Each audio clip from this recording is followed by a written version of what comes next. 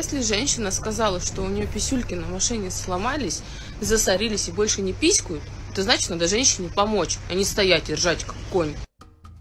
Писюльки, не писька, цисти что ли заболела? Что? Ладно, ребята, всем здорово, Саныч на связи. Я считаю так, если эта моя машина чаечки принадлежит, она ее, да, то вместе со своими не, писюль, не писающими писюльками она собирается и едет на автостанцию. Да? То есть я сейчас брошу все свои дела и начну ей прочищать писюльки, что ли.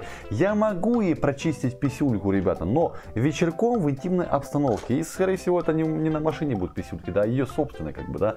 Вот, и потом писать она будет просто великолепно. А вот это вот искание бесплатного раба, ну это такое себе, зачем оно мне надо?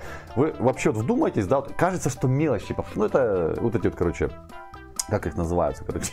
И правда, писюльки, да, которые э, брызгают на лобовое стекло, чтобы обмывать. Омыватели, короче, вот, да. Вот такие штучки там, да. Вы представляете, вот кажется мелочь, да. Если там где-то что-то засорилось, там можно просто день убить, чтобы это все прочищать. Потому что там вот эти вот трубочки, шлангочки, там может быть в фильтре в бачке засорилось, может быть в самих трубочках. Попробуй оттуда это все выковырить, Йоханный Бабай. Оказывается мелочь, да. Заплатит мне за день работы, не вопрос, помогу.